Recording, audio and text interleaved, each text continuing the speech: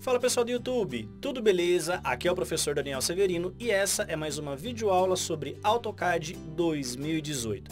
Pessoal, antes de começar mais um tutorial, dois recadinhos aí para vocês. Se você está assistindo aos nossos vídeos pela primeira vez, não se esqueça de se inscrever-se, porque somente assim você vai receber as notificações de novos materiais e novos vídeos e dessa forma nós vamos conseguir bater a meta de 100 mil inscritos. Falta pouco, pessoal, eu preciso da ajuda de vocês para conseguir bater mais essa meta. E o segundo recado é fique por dentro da aba comunidade na nossa página oficial do YouTube, beleza? Lá eu vou postar para vocês algumas dicas extras, vou estar conversando com vocês com mais frequência e de vez em quando eu vou colocar ali uma pesquisa em relação ao que, que vocês querem que eu aborde aqui no YouTube, beleza? Então fique por dentro da aba comunidade na nossa página oficial do YouTube. Galera, vamos ao que interessa. O assunto de hoje é o comando chamado clip, que na verdade ele auxilia uh, o recorte de uh, blocos com a utilização de polylines. Bom, eu tenho aqui uma fachada e eu tenho dois elementos, sendo a janela aplicada aqui na estrutura como um bloco. Ele é o item chamado bloco janela. Qual que é a minha intenção? Eu quero colocar na frente dessa janela um objeto e esse objeto ele não pode ter a sobreposição. Porque normalmente quando a gente coloca aqui uma, uma pessoa, um vaso ou que seja um arranjo, a gente acaba aqui explodindo o bloco e esse bloco é todo modificado. A gente tem que cortar, fazer trim e uma vez que você edita, você não consegue retroceder ele de uma maneira mais fácil. Tem que copiar e colar de novo. Bom, para isso eu tenho aqui três exemplos. O primeiro exemplo, pessoal, ele é somente o contorno de um bloco de uma moça. O segundo exemplo é o contorno e as linhas internas da minha estrutura, que seriam os detalhes desse meu componente. E o terceiro elemento seria um bloco sem a utilização de polyline. Ele é literalmente a construção de um bloco, linha separada, e eu uni tudo por um bloco. O comando clip, ele fica dentro da aba insert, ok? Dentro do grupo de referência, comando clip. Qual que é o problema?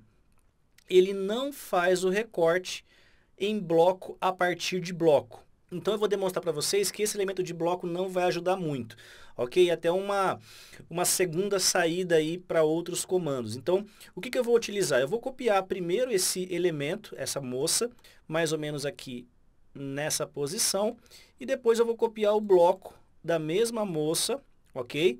Nesse meu elemento da esquerda. Bom, vamos lá.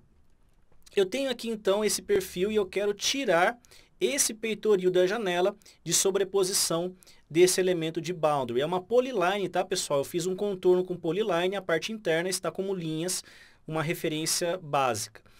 Quando eu habilito o comando clip, a primeira pergunta que ele faz é selecione o objeto que no caso é o bloco que eu quero ajustar.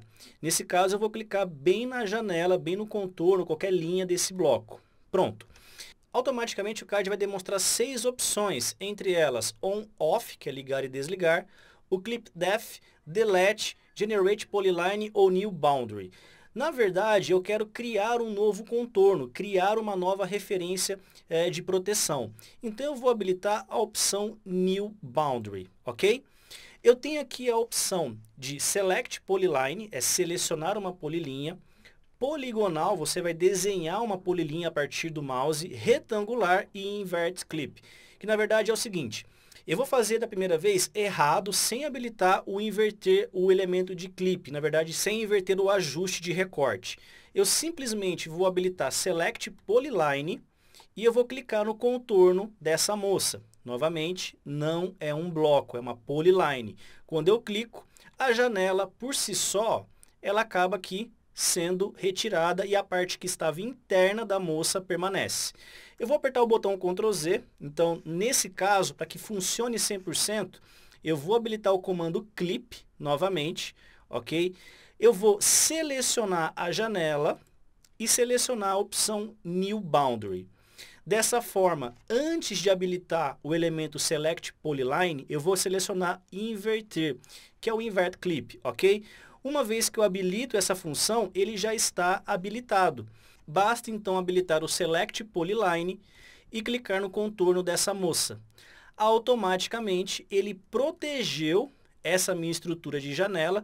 Óbvio que essa linha na parte inferior, como não faz parte do bloco, eu vou ter que cortar, ou seja, trimar ela para que ela funcione 100%. E ela fica agora em cima dessa minha referência de estrutura. Beleza? Bom, qual que é o problema? Se você tentar fazer a mesma coisa com o bloco, ó, seleciono a minha janela, New Boundary, Select Polyline. Ele não consegue pegar essa minha referência. Ó. Ele fica solicitando que eu pegue ainda um contorno. Nem que eu pegue o bloco da moça, New Boundary, e eu clique ó, nessa referência retangular e pegue essa parte da janela. Ó. Ele acaba aqui dando problema. Ou se você quiser, é um método diferente. Selecione esse bloco, clipe, New Boundary, inverter e o retangular você vai fazer ó, somente naqueles pedaços da parte inferior da janela. A moça vai ficar na parte posterior da sua estrutura. Então você não pode habilitar um bloco em cima de bloco, e sim uma polyline em cima de um bloco, ok? Esse método aqui eu utilizei o comando retangular. Tá, Daniel, uma vez que você faz isso, como que você desabilita ou deleta ou ajusta esse item? Porque quando eu clico de novo no bloco, ele está com todos os itens construídos como se fosse uma máscara, como se fosse uma proteção. Se você selecionar somente a moça e apertar o delete, não adianta, o contorno continua e o seu elemento de bloco de janela não é deletado.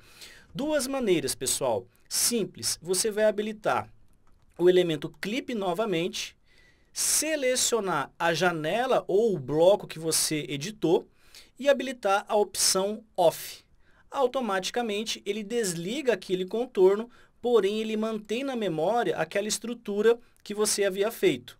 Se você clicar no comando clip, selecionar a janela e apertar o botão on, ele volta a aparecer essa sua estrutura.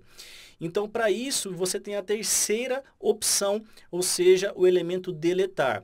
Habilito o comando clip, seleciono a janela que eu necessito e eu habilito a opção delete. A partir daí, ele volta a estaca zero e a partir de agora a sua janela está independente. Você pode deletar aqui a moça da sua estrutura, que ele não vai atrapalhar no seu desenho, ok? É um comando que pode ajudar vocês aí no dia a dia, às vezes tem vários blocos, vários elementos que precisam ser protegidos e o comando clip é uma forma fácil de você ajustar esses seus elementos. Galera, recados dessa videoaula. Se você gostou, clica aí no gostei, curta e principalmente, pessoal, compartilhem esses vídeos para que mais e mais pessoas possam aprender a trabalhar com o AutoCAD gratuitamente e para que nosso canal consiga chegar à meta de 100 mil inscritos.